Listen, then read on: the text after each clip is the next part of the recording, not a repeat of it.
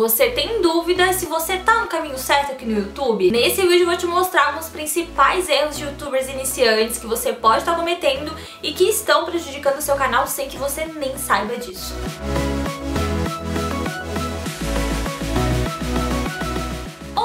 sou a Mai Furtado, eu tô aqui com mais um vídeo da nossa série Como Ser um Youtuber. Essa série maravilhosa, né, que traz várias dicas pra ajudar o seu canal aqui no YouTube. Se você já gosta desse tipo de conteúdo porque você quer ser um youtuber de sucesso, já vai deixando o like aqui pra gente saber que você gosta. Também se inscreve aqui no canal pra você não perder os próximos vídeos, tá? E quero te convidar também a assistir os outros vídeos aqui da série, se você não assistiu ainda, porque eles podem te ajudar muito aqui no YouTube. Primeiro erro, não definir o nicho do seu canal. Qual o tema principal do seu canal. Para saber se você está cometendo esse erro, é só você ter essa resposta na ponta da língua. Esse é um erro que muitos youtubers cometem. Isso porque quando você quer falar de vários assuntos, quer falar de tudo um pouco sem ter organização e um nicho definido, você acaba não sendo referência em nenhum assunto. Para que as pessoas lembrem de você quando pensarem em determinado tema, é muito importante que você tenha um nicho. Quer ver só? Eu vou te dar um exemplo. Quando você pensa em dicas para youtubers e edição de vídeo usando Filmora, rapidamente você vai lembrar desse canal aqui, porque ele é uma referência.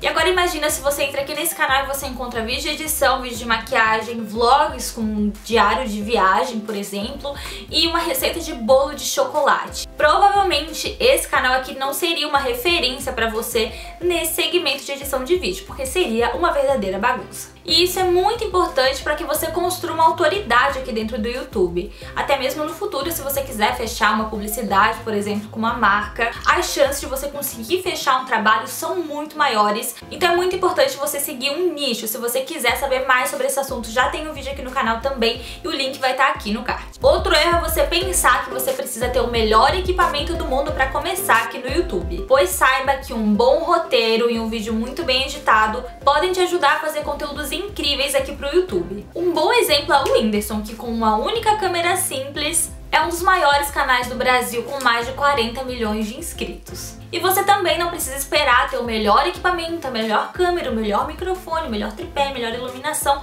para começar a fazer vídeos. Faça o melhor com aquilo que você já tem em mãos. A edição pode ajudar e muito na qualidade dos seus vídeos. O Filmora tá aqui pra te ajudar nisso. Já tem vídeo também aqui no canal do Filmora com dicas pra te ajudar aí com os equipamentos, a improvisar com aquilo que você tem e vão ter vários desses vídeos com dicas aqui no card pra vocês, tá? Outro erro é uma thumbnail mal feita. Me diz uma coisa, você já prestou atenção na quantidade de vídeos que existem na tela inicial do YouTube? Quanto mais você desce a tela, mais e mais vídeos aparecem e é infinito mesmo. E como que o seu vídeo vai se destacar ali naquela tela inicial no meio de tantos outros vídeos. Ou também, se uma pessoa pesquisar o tema do seu vídeo na busca, o que vai fazer a pessoa clicar para assistir o seu vídeo e não um vídeo de um outro canal? A thumbnail, bem feita. Então se você ainda não dá atenção a isso, saiba que é um grande erro que você tá cometendo aqui no YouTube. E também vai ter vídeo aqui no card com dicas para você fazer uma boa thumbnail. Outro erro que você pode estar cometendo é não aproveitar todas as ferramentas que o YouTube te oferece. Lembra de uma coisa, se existe uma ferramenta é porque ela deve ser usada. Eu sempre penso nisso, ué, se tá aqui é porque eu tenho que usar de alguma forma. Vai me ajudar de alguma forma, então se existe, usa. Isso vale para os cards interativos, como esses que a gente coloca links aqui em cima. A tela final que aparece sempre que um vídeo seu acaba, com links recomendando outros vídeos, chamando a galera para se inscrever. Enfim, várias outras funções, desde um comentário fixado no topo do seu vídeo até a opção de você colocar tags. É muito importante que você aproveite todas essas funções. Se você tem preguiça, só coloca o título e posta o vídeo ali de qualquer jeito, é melhor você avaliar porque você tá fazendo isso errado. Outro erro que você pode estar cometendo é criar vídeos com títulos muito pessoais aqui no YouTube. Quando você está começando, você não tem uma audiência muito estabelecida, então não adianta você querer criar um conteúdo com títulos que falem sobre você, por exemplo, aquela tag famosa 50 fatos sobre mim. É melhor que você crie conteúdos com títulos pesquisáveis, a gente já falou sobre isso também em outro vídeo aqui da série. E isso favorece muito o seu canal porque aumentam as chances de as pessoas encontrarem o seu canal. E assim você cresce aqui no YouTube, tem mais visualizações e tudo melhora. E eu vou aproveitar esse vídeo para deixar uma dica de ouro aqui para você. Existe um site chamado Answer the Public. Basicamente você consegue pesquisar um termo específico e o site consegue consegue mostrar para você quais são as perguntas mais feitas referentes àquele termo. Por exemplo, eu vou digitar aí na tela para vocês verem bolo de chocolate.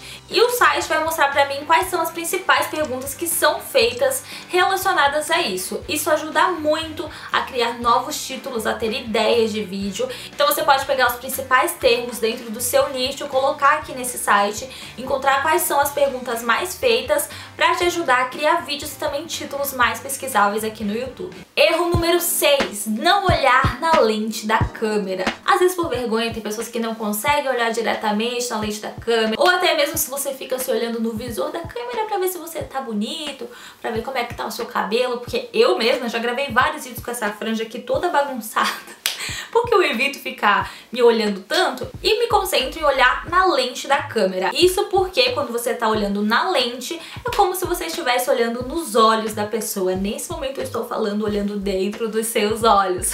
Isso faz toda a diferença na hora de você passar mais confiança, tanto quando você tá conversando pessoalmente com a pessoa, olhar no olho faz toda a diferença, quanto enquanto você tá fazendo vídeos aqui pro YouTube. Então, pra melhorar sua comunicação aqui no YouTube, pra você passar mais credibilidade, mais confiança, olha sempre na lente da câmera pra que a pessoa sinta que você tá olhando nos olhos dela e que você realmente passa confiança, que você sabe aquilo que você tá falando. Então isso é muito importante. Outro erro que a maioria das pessoas cometem quando estão começando aqui no YouTube fazer spam, divulgando o seu canal em todo lugar que é possível digitar o link do seu canal.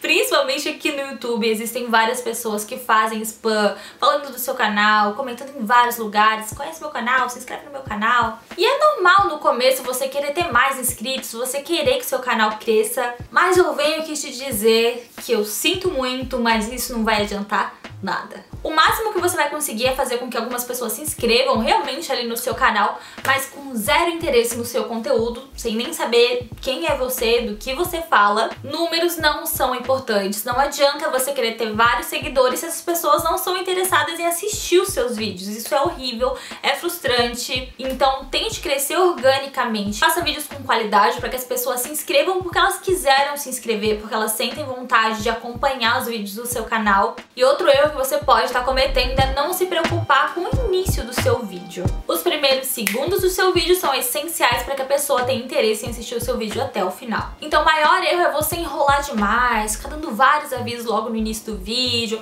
Pensa comigo, se você está deixando um aviso, por exemplo, sobre um vídeo que você vai postar e tudo mais. As pessoas que já te conhecem podem até assistir esse aviso sem problema nenhum, sem pular isso. Mas imagine uma pessoa que chegou no seu canal pela primeira vez, ela tá assistindo aquele vídeo porque ela quer ver uma dica que você colocou no título e você fica enrolando, enrolando, enrolando ali no início e não chega nunca na parte principal, que é o que ela realmente queria assistir quando ela clicou.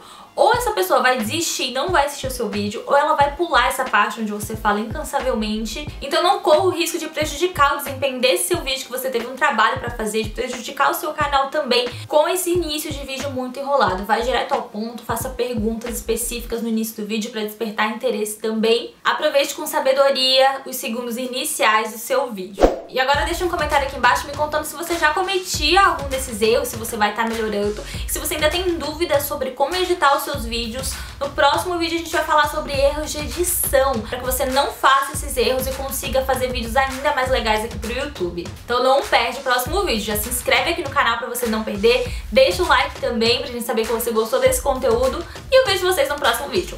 Um beijo e até a próxima!